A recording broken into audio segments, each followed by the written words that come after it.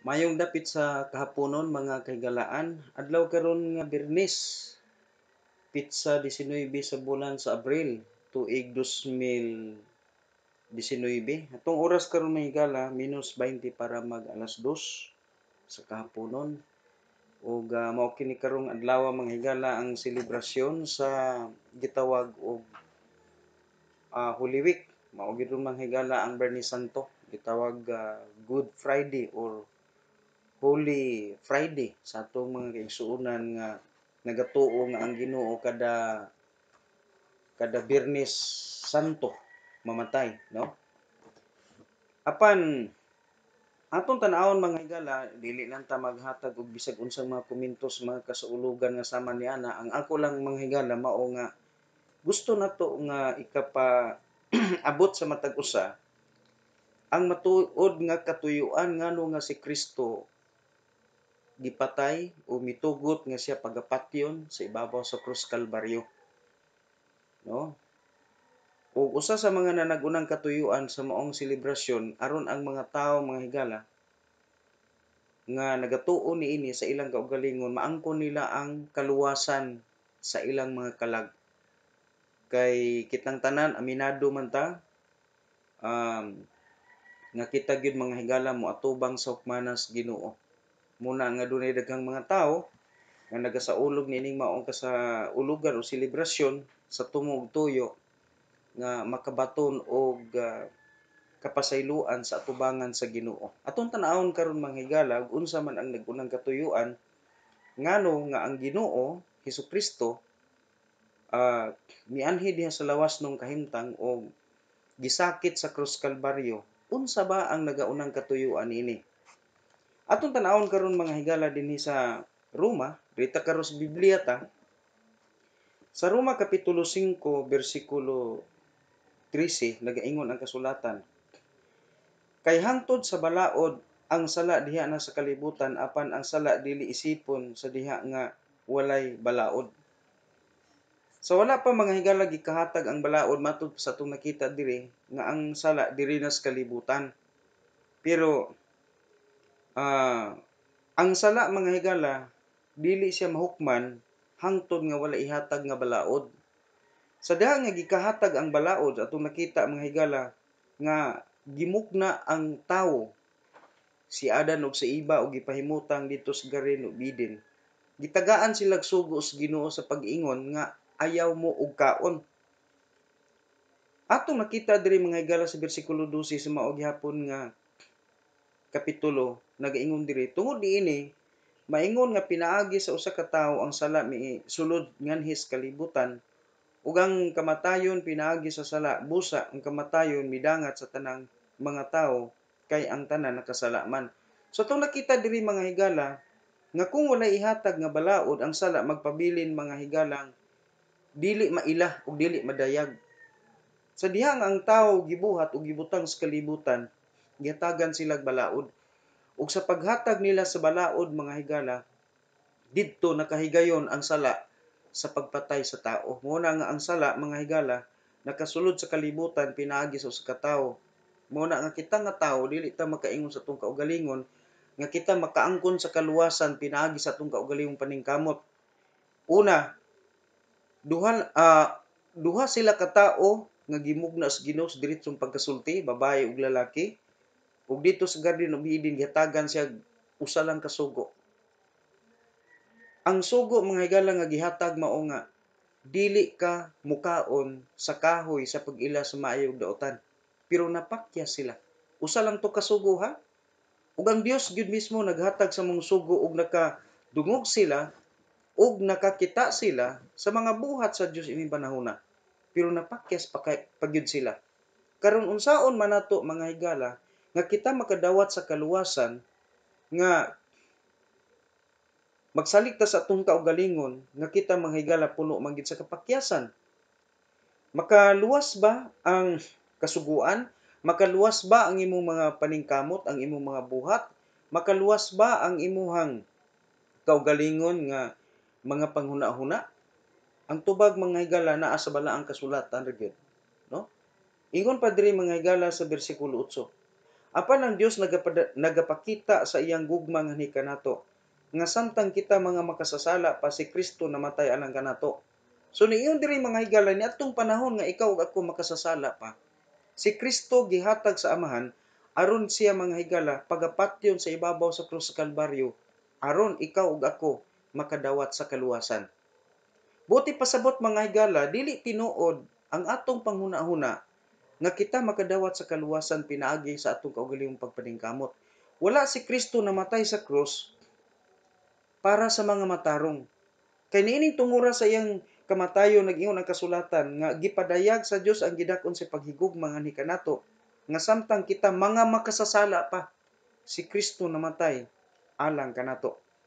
Sa ato pa mga higala, ang ato mga higala nga paningkamot ang atong pagtuman sa balaod ug uban pa dili gyud makahatag og kaluwasan kay kung makahatag pa kaluwasan ang atong kaugalingon mga higalang pagpaningkamot mga higala dili lang unta magpakamatay si Kristo Jesus ato ta karon mga higala sa atong gitawag og uh, sa ato mga higalang pamaagi makaluwas ba ang atong kaugalingon nga pamaagi Atong tanaon ang Marcos Kapitulo 7, versikulo 6 ug versikulo 7, nag-ingon ang kasulatan.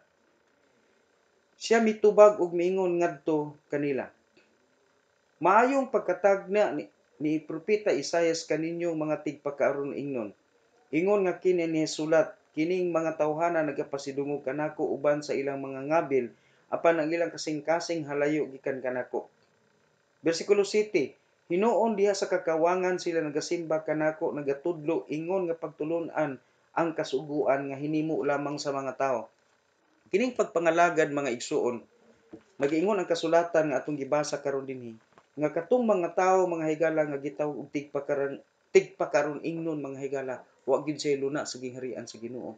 Nganuman, ingon pa na kining mga tawhana nagapasidong kanako sa ngabi laman apan ang ilang hal- kasing-kasing halayo gikan kanako Nganuman, ang ilang gisunod mga higala nga balaod sa Dios mao ang mga balaod usugo nga hinimo lamang sa tao. Muna ang ingnan sila sa ginukawang lamang ang ilang pagsimba kanako kay ang ilang nga kay hinuon diha sa kakawangan sila naga simba sa Ginoo nga ang gitudlo balaod sa tao.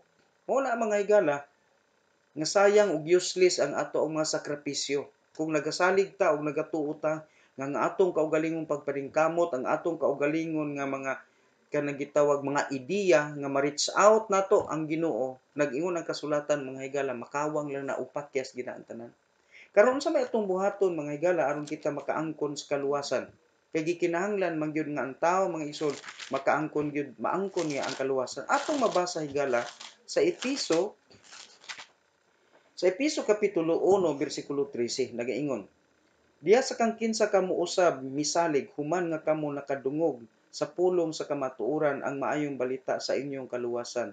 Diha sa kang kinsa usab human nga kamo mituo kamo gisilyuhan ni anang balaang espiritu. So unsay paagi nga kita makadawat sa kaluwasan? Ingon pa sa pulong sa Dios mga higala, maminaw gyud ka sa maayong balita. Kaysa diha mga higala nga ikaw maminaw ug mutuo sa imong nadunggan nga matuod nga maayong balita, niingon sa higala ang imong pangalan nga nahisulat dito sa talaan sa kinabuhi kini pagasiliuhan sa balaang Espiritu Santo. No? Siliuhan kini sa balaan nga Espiritu Santo ingon nga timaan diha sa adlaw sa pagtubos nato gikan ining kalibutana. Mo na higala ang importante masabtan nimo nga ang maayong balita mo'y bugtong paagi aron ikaw makaangkon og kasiguruhan nga dili ka mupadulo ngadto sa pagkahinukman sa silot sa linaw nga kalayo sa impierno. Karon nangutan na taon sa madi ang maayong balita. Ang maayong balita mga higala sumala sa atong mabasa diha sa pinadayag. Uh, sumala sa Unang Korinto di ay higala. Unang Korinto kapitulo Unang Korinto Kapitulo 15, no? Unang Korinto Kapitulo 15, dili sa pinadayag, no? Sipyat taglito kaganina. Unang Korinto Kapitulo 15, versikulo 1 ta mga higala o padulong ta diha sa versikulo 3 nagingon oh Dugong dugang pa mga igsuon ako magapahayag nga na kaninyo sa maayong balita nga akong giwali nga na kaninyo nga inyo usab nga gidawat. Ug dinhi niini kamo nagabarog. Bersikulo 2, pinaagi niini. Kanang giingon diri mga higalag pinaagi niini. Kanang niini giisgutan ang maayong balita ang gipasabot ana balik kong basa bersikulo 2 pinaagi niini kamo usab nangaluwas so kinsa man mga higala ang luwason sa Ginoo? Katong mituo sa maayong balita kung inyong gibutang diha sa panumduman unsa ang akong giwali nga na kaniyo gawas kun kamo mituo nga kawang. Importante higalang kadungog ka sa maayong balita. Gigamit nimo ang insaktong pagtuo dili pagtuo nga kawang no? So importante gyud nga maangko nato ang kaluwasan ug ang kaluwasan imong madawat gikan sa kamot sa Ginoo pinaagi sa imong pagpaminaw ug pagtuo sa imong nadunggan nga mao ang maayong balita. Unsa man ang maayong balita matud sa stress kay ako mitugyan nga na kaninyo una sa tanan nga ako usab nga nadawat giunsa nga si Kristo namatay tungod sa atong mga sala sumala sa kasulatan. Padayon ta sa bersikulo 4, og nga siya gilubong, og nga siya nabanhaw sa ikatulo ka adlaw, sumala sa kasulatan. Ang maayong balita mga higala mao nga si Kristo namatay, gilubong ug nabuhi alang sa atong kaluwasan. Mao na mga higala. Karon Kini kuno nga maayong balita mao ni ang nakaluwas nimo sa diha nga ikaw mituo ug midawat ngadto kaniya. Apan kung ikaw mga higala dili ka mutuo unsa may giingon sa Ginoo dinha. Dili ta mga higala sa ikaduhang Korinto kapitulo kapitulo 4 ikaduhang Korinto kapitulo 4 niya bersikulo 3 ug 4 mao ni giingon dinhi Apan kun ang among maayong balita wala masabti, kini wala masabti ngadto kanila nga nangawala. Sa ato pa mga higala ang dili mo sabot ani katurang mo padulog og. Tuuhan na lang nato ni kay paagi mas Ginoo. Abi ninyo mga higala ang paagi sa Ginoo di man gina nato kurik, pwedeng koreksyonan. Kay kun ato nang koreksyonan nagpasabot nga nakaminos tas tagiya sa maong pamaagi. Ingon pa niya, apan kun ang among maayong balita wala masabti kini wala masabti ngadto kanila nga nangalaglag. No? Lahos ta des bersikulo 4 diha sa kang kinsa ang Dios niini nga kalibutan mitabon sa ilang mga huna-huna. Aron nga sila dili mutuo basin ang kahayag sa mahimayaon nga maayong balita ni Kristo kinsa mao ang dagway sa Dios musidlak gayon ngadto kanila so kinsa man mga higala ang nag-prevent sa imong salabutan nga dili ka mutuo nga ang kaluwasan pinaagi gyud sa pagtuog pagdawat sa maayong balita. Ingon ang pulong sa Dios ang dautan nga Dios niining kalibutan. Nagtabon sa ilang hunahuna aron sila dili mutuo sa maayong balita. Mo ni mga higala ang maayong balita ingon pa sa 1:12 hinuon may midawat og mituo kanila busa sila gihatagan niya sa katungod nga mahimong anak sa Dios. Dili mutuo ang tao niini Nganuman kay para kanila maluwas ang tao pinaagi ra gyud sa iyang kaugalingon. Sa iya rag naara sa iyang kaugalingon ang kaluwasan. Apan mga igsuon dili na tinuod kay kung naang kaluwasan naara sa atong kaugalingon ngano man mga higala nga si Kristo mianhiman kung tinuod man ang panghuna-huna. Muna nga atong isagyaw si Kristo dawaton sulod sa kasing-kasing. Unya imong saligan ang iyang pamaagi.